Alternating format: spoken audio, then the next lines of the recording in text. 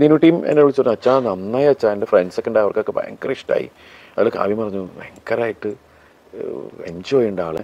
Feel വരുന്ന സമയത്ത് ആണുങ്ങളടക്കം കണ്ണ് നനയുന്നുണ്ട്. എല്ലാവരും കണ്ണൊക്കെ ഇങ്ങനെ തുടയ്ക്കുന്നുണ്ട് മിമിക്രി കലാകാരനായ ദിലീപ് സഹസംവിധായകനായി സിനിമയിലേക്ക് വന്ന് പിന്നീട് സഹനടനായും ശേഷം നായകനായും വളർന്നു.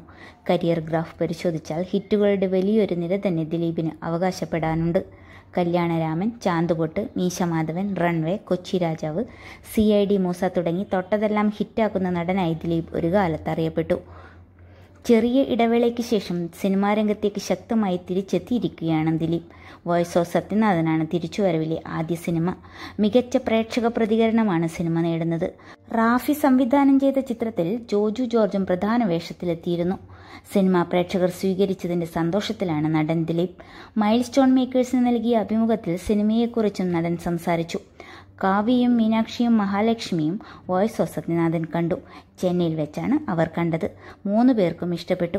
മാമാട്ടി ഭയങ്കര ചിരിയായിരുന്നു. ഇവൾ ആവശ്യമില്ലാത്തിടത്തും ചിരിക്കുന്നു എന്ന് പറഞ്ഞ് കാവ്യ അവളെ കളിയാക്കി.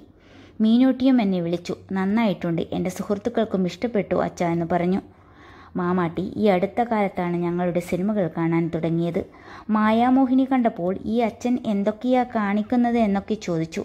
ഈ ഒക്ടോബറിൽ അവൾക്ക് അഞ്ച് വയസ്സാകുമെന്നും ദിലീപ് വ്യക്തമാക്കി. തന്റെ കരിയറിലെ പഴയ സിനിമകളെക്കുറിച്ചും ദിലീപ് സംസാരിച്ചു.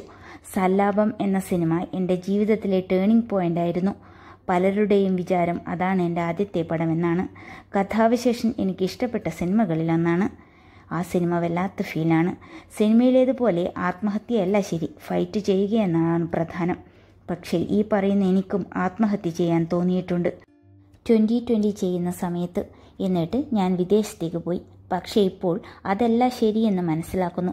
നമ്മളെ ആശ്രയിച്ചു നിൽക്കുന്ന ഒരുപാട് പേരെ ഇരട്ടത്താക്കിയാണ് രക്ഷപ്പെടുന്നത്. അതൊരു രക്ഷപ്പെടൽ അല്ലെന്നും ദിലീപ് ചൂണ്ടിക്കാട്ടി. മലയാളത്തിലെ ഒട്ടുമിക്ക താരങ്ങളെയും വെച്ച് ദിലീപ് നിർമ്മിച്ച സിനിമയാണ് ട്വന്റി ട്വന്റി രണ്ടായിരത്തി എട്ടിൽ റിലീസ് ചെയ്ത ചിത്രം നടനെ സംബന്ധിച്ച് കരിയറിലെ വലിയ സാഹസമായിരുന്നു. ഒരുപക്ഷെ സിനിമ പരാജയപ്പെട്ടിരുന്നെങ്കിൽ കനത്ത സാമ്പത്തിക നഷ്ടം നടന് നേരിടേണ്ടി വന്നേനെ. എന്നാൽ സിനിമ വൻ ഹിറ്റായി. ജോഷി സംവിധാനം ചെയ്ത ചിത്രത്തിൽ മോഹൻലാൽ മമ്മൂട്ടി സുരേഷ് ഗോപി ജയറാം തുടങ്ങിയ താരങ്ങളെല്ലാം അണിനിരന്നു.